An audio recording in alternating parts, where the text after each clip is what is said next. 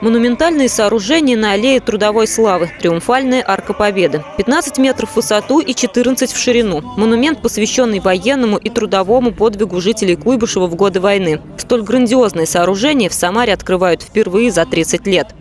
Наш город имел на площади славы монумент славы. Вечный огонь. Но не было у нас памятника ветеранам труда.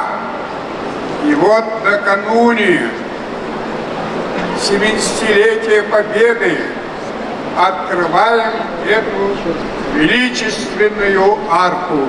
В ноябре 2013 года именно ветеран Великой Отечественной войны Николай Трынин предложил возвести триумфальную арку. Местные власти предложение поддержали. Идея, объединяющая в одном монументе героев передовой и тыла, уже через полтора года стала реальностью.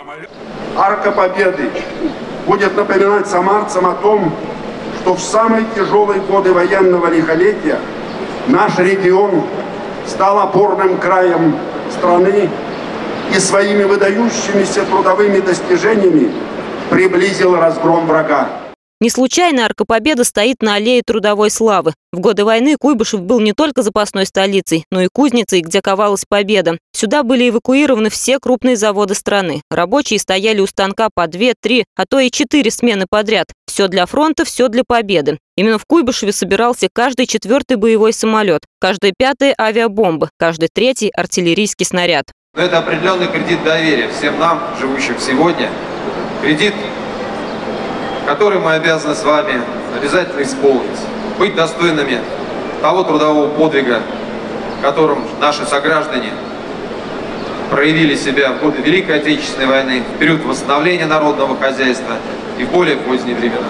Мы открываем не просто одну из основных достопримечательностей нашего города, а сегодня создан символ и знак нашей истории, нашей памяти, нашего единства. Свидетелями исторического события стали горожане. Как сквозь горнило войны в мирное время самарцы прошли сквозь арку.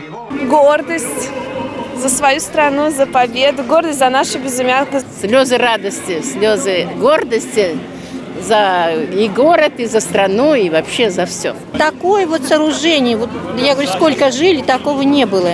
И вдруг вот все в миг преобразилось и стало так красиво, вот так вот торжественно, так приятно. Ну просто вот знаете, гордость берет. Радость за то, что у нас такая хорошая родина, что у нас такие хорошие люди. Я учусь в кадетской школе и собираюсь после окончания школы идти в армию. Марина Матвеевна, Артем Сулайманов. События.